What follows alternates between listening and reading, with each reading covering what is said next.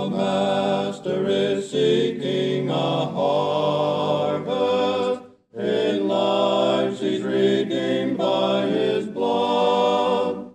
He seeks for the fruit of the Spirit and works that will glorify God.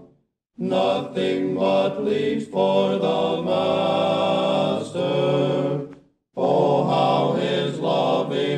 Heart grieves when instead of the fruit he is seeking, we offer him nothing but leaves.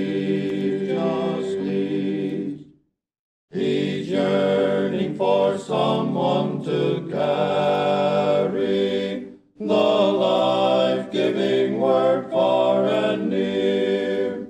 He's waiting hearts that are willing, for ears that are open to hear.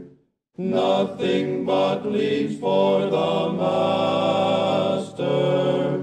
Oh, how his loving heart grieves when instead of the fruit